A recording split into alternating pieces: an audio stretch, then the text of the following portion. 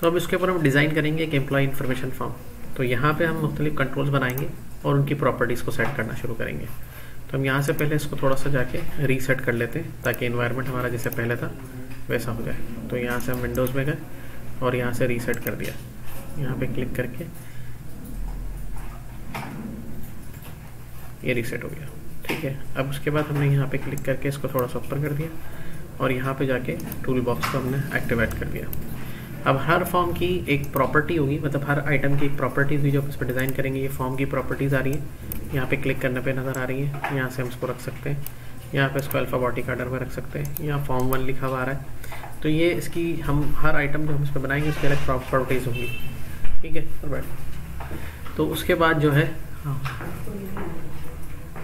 बैठ तो उसके बाद जो है, यहाँ पे क्लिक करके हमने यहाँ पे फॉर्म वन पे क्लिक किया। इसका नाम हमने चेंज कर दिया। इसका नाम रख लिया हमने फॉर्म और इसका नाम हमने रख दिया एम्प्लॉय इन्फो तो ये हमने इसका नाम रख दिया एम्प्लॉय इन्फो नाम रखने के लिए शर्त ये है कि विदाउट स्पेस होना चाहिए और विदाउट नंबर होना चाहिए। यहाँ पे क्लिक करेंगे। यहाँ से हम इसके जाएँगे टैक्स प्रॉपर्टी में और यहाँ पे हम इसका नाम रखेंगे कैप्शन टैक्स प्रॉपर्टी में हम जो नाम लिखेंगे वो इसके लेवल पे नज़र आएगा। एम्प्लॉय इंफॉर्मेशन एप्लीकेशन लिख दिया हमने इसके ऊपर तो यहाँ पे क्लिक करने पे यहाँ नज़र आ रहा है employ application employ information application ठीक है? ये इसको यूज़र को टाइटल पे नज़र आएगा। जैसे हम इसको यहाँ से रन करेंगे तो यहाँ पर ये इस तरह से हमें नज़र आने लग जाएगा। अच्छा उसके बाद हम क्या करेंगे? यहाँ से स्टॉप कर देंगे। ये स्टॉप हो जाएगा। अब वहाँ पे आके हम इसके ऊपर कंट्रोल्स बनाएँगे। जैसे हमने यहाँ पे लिया लेवल कंट्रोल तो डबल क्लिक किया। यहाँ से एक लेवल कंट्रोल बन गया। और क्लिक करके हमने यहाँ पे जाके लेवल पे क्लिक किया। और यहाँ पे इसका नाम रख लिया। सपोज़ टू बी लेवल और इसका नाम रख दिया हमने लेवल फुल नेम इसके बाद हमने यहाँ से क्लिक किया और नीचे आ गए और टेक्स्ट पे क्लिक किया और यहाँ पे क्लिक करके हमने यहाँ पे टाइप कर दिया फुल नेम तो यहाँ पे फुल नेम लिखा हुआ आ गया अब इस नेम के जो दो ऑप्शन हैं, यानी कि ये टेक्स्ट है, ये इसके ऊपर डिस्प्ले होगा और ये जो इसका ऊपर वाला है, ये इसका नाम है, ठीक है? अब इसको हमने सेलेक्ट किया यहाँ से और सेलेक्ट करके हम यहाँ पे जाएँगे। और यहाँ से क्लिक करेंगे फॉन्ट के ऊपर। फॉन्ट पे क्लिक करने के बाद यहाँ क्लिक करेंगे। तो यहाँ से इसका फॉन्ट का साइज़ हम यहाँ से क्लिक करेंगे ओके करेंगे। तो यहाँ पे इसका फॉन्ट साइज़ सेट हो गया।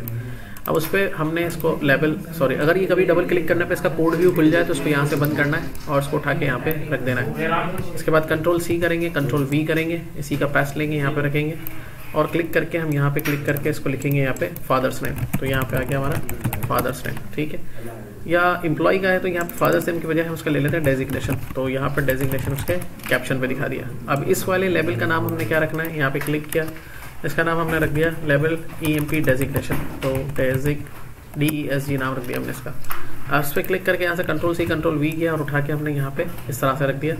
और यहाँ पे रख के हमने इसको नाम रखा लेबल और इसका नाम रख दिया हमने सैलरी, ठीक है? तो या सैलरी रख लें या डिपार्टमेंट रख दें इसका नाम, डिपार्टमेंट रख देते तो यहाँ पे क्लिक करके टेक्स्ट पे क्लिक किया और यहाँ पे हमने इसका कैप्शन पे लगा दिया, डिपार्टमेंट, ठीक है? यहाँ पे आ गया। अब उसके बाद यहाँ से क्लिक करके कंट्रोल सी करके कंट्रोल वी किया, प्रेस किया और यहाँ पे हमने इसका ले लिया सैलरी। तो यहाँ पे हमने क्लिक करके इसको क्लिक किया, यहाँ पे जाके हमने इसका ले लिया सैलरी। और यहाँ पे जाके क्लिक किया लेवल पे और यहाँ पे हमने जाके टाइप कर दिया ई एम पी सैलरी तो ई एम पी सैलरी हमने यहाँ पे टाइप कर दिया, इनके नाम हो गए। अब लेवल तो यूज़र को दिखाने के लिए होता है। कंट्रोल सी किया कंट्रोल वी किया प्रेस किया, उसको उठा के हमने यहाँ पे ऊपर रख दिया। और इसके ऊपर हमने एक नाम रख दिया E M P E M P data collection तो ये इसका नाम हो गया। और उसके बाद यहाँ से हमने क्लिक किया टेक्स्ट के ऊपर। टेक्स्ट पे जाके हमने यहाँ पे लिख दिया suppose to be employ data collection ठीक है इंटर कर दिया। ये यहाँ पे इस तरह से लिखा हुआ आ गया। एम्प्लॉय डेटा कलेक्शन और ये हमें यहाँ पे इस तरह दिखाई दे रहा है। इसके बाद हमने क्या किया? यहाँ पर इसको रन करके देखा। तो हमारी एप्लीकेशन पे ये सारी चीज़ें लिखी हुई आ रही थी इस तरह से। अब हमने इसको स्टॉप कर दिया। इसको यहाँ से स्टॉप करने के बाद यहाँ पे क्लिक किया और यहाँ से क्लिक करके हम चले गए फॉन्ट्स के अंदर।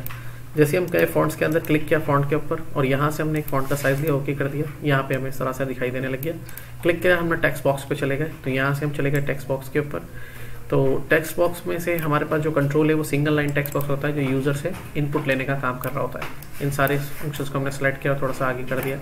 इसके बाद इस टेक्स्ट बॉक्स को सिलेक्ट किया, इसको भी इसके साथ रखने के बाद हमने यहाँ से क्लिक कर दिया।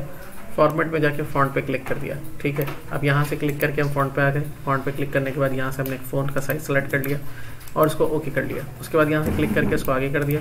क्लिक करने के बाद जब हमने इसको आगे कर दिया तो यहाँ पे क्लिक करके हम इसको आगे करेंगे और इसको यहाँ पे इस तरह से रख लेते हैं। कंट्रोल सी कंट्रोल वी करेंगे प्रेस करेंगे और यहाँ पे इसको रख देंगे।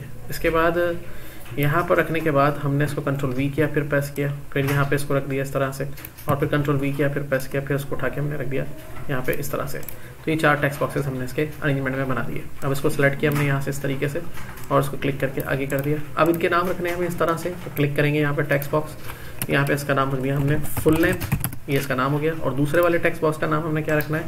इसका नाम हमने रख दिया डेजिग्नेशन टेक्स्ट बॉक्स पे इसलिए नहीं बिठा कि वो लेबल और टेक्स्ट बॉक्स में इस तरह एक फ़र्क बना रहेगा, जिससे हमें पता चलता रहेगा कि लेबल और ये टेक्स्ट बॉक्स है। उसके बाद यहाँ से हमने क्लिक किया सैलरी पे, और टेक्स्ट बॉक्स सैलरी हमने यहाँ से ले लिया। उसके बाद हमने नीचे और कमांड बटन बनाने। तो पहले हम अपने कोड को सेव कर लेते हैं। Control shift S save all के तरह। एक कमांड बटन बनाएँगे, जो कमांड बटन इसका कंट्रोल होता है, इसका काम ये होता है कि आप कोई भी जो भी चीज़ बना रहे हैं, जैसे इसको बना दिया आपने सबमिट बटन सबमिट बना दिया इसके ऊपर, और यहाँ क्लिक करके यहाँ से आपने इसको लिख दिया सबमिट तो यहाँ पे लिख दिया सबमिट इसके ऊपर लिखा गया। उसके बाद यहाँ क्लिक करके आप चले गए फॉन्ट के ऊपर क्लिक किया यहाँ से इस पर और यहाँ से क्लिक करके हमने इसके फॉन्ट साइज़ को यहाँ ले लिया। इस पर क्लिक किया यहाँ पे, और इसको यहाँ से लेके हमने इसको यहाँ कर लिया। कंट्रोल सी कंट्रोल वी कर दिया इसको यहाँ से क्लिक करके, और यहाँ पर रख के आपने इसको इस तरीके से रख दिया। उसके बाद यहाँ पे क्लिक किया, और यहाँ पे आपने क्लिक करके इसको कर दिया exit E X I T तो ये एग्जिट कर दिया। ये इस तरह से आपको नज़र आ रहा है। ये एप्लीकेशन का इंटरफेस तैयार हो गया। अब उसके बाद हमने क्या करना है? इनके नाम रख लेते हैं। जैसे कि इसका नाम हमें क्या रखना है? बटन सबमिट और इसका नाम हमें क्या रखना है? बटन एक्सेप्ट तो आज की क्लास में हमने ये देखा कि किस तरह से एक एप्लीकेशन के ऊपर लेवल टेक्स्ट बॉक्स और कमांड बटन को बनाते हैं और उनकी नेम और उनकी लेवल प्रॉपर्टी को यूज़ करते हैं और उनके फॉन्ट साइज़ वगैरह को कैसे सेट करते हैं। अब एप्लीकेशन को हम टेस्ट करते हैं, यहाँ पे रन करेंगे। ये इसका टेस्टिंग मोड एक्टिवेट हो गया। अब इसमें आप डेटा डाल सकते हैं।